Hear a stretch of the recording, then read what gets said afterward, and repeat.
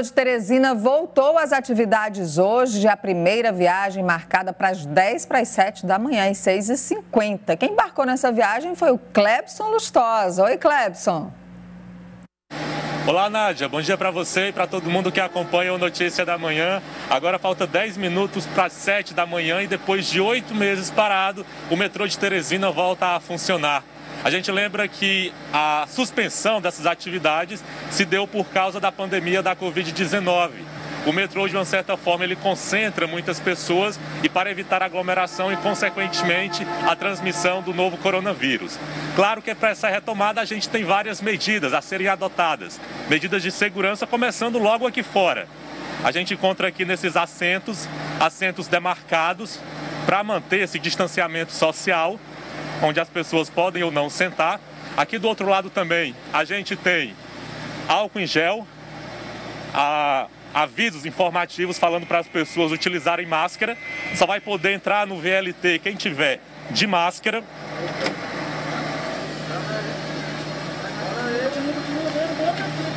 A gente vai agora entrar aqui ver como é que está a situação aqui dentro.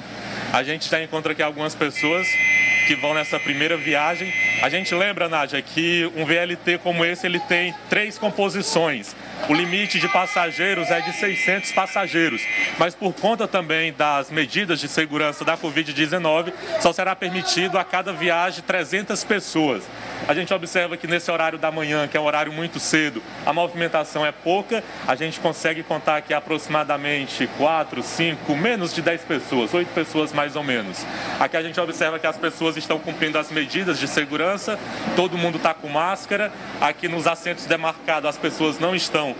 sentando.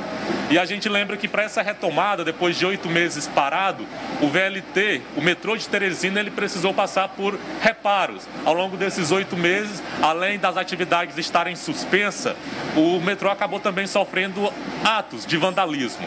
Segundo a Companhia Metropolitana de Transporte Público, ao longo desses oito meses estavam sendo realizadas atividades de manutenção na linha férrea, como também a poda de árvores que passa bem ao lado da, da composição e ao longo dessas duas últimas semanas foram realizadas vistorias. A última foi realizada agora ontem, terça-feira, dia 24, para que hoje, quinta-feira, dia 25, o VLT voltasse a funcionar.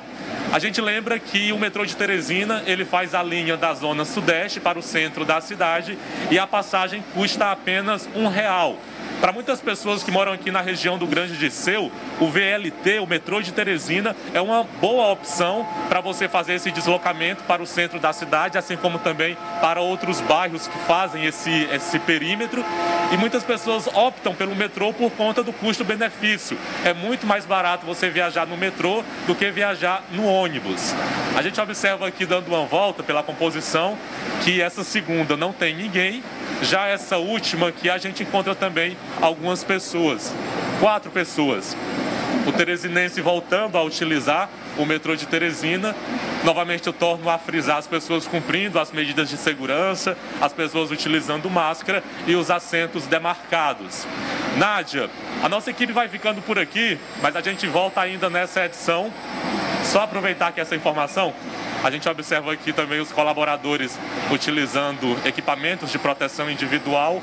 Ontem, dentro do Jornal do Piauí, a nossa equipe conversou com a diretora-presidente, a Josiane Marques, da companhia, e ela nos, explicava também que os colaboradores, eles passaram por capacitação por causa desse novo normal. Então, todos os colaboradores e funcionários da companhia, ao longo dessas últimas semanas, eles também passaram por capacitação para que eles pudessem voltar a trabalhar de forma segura também. Colaboradores que estão utilizando também equipamentos de proteção individual.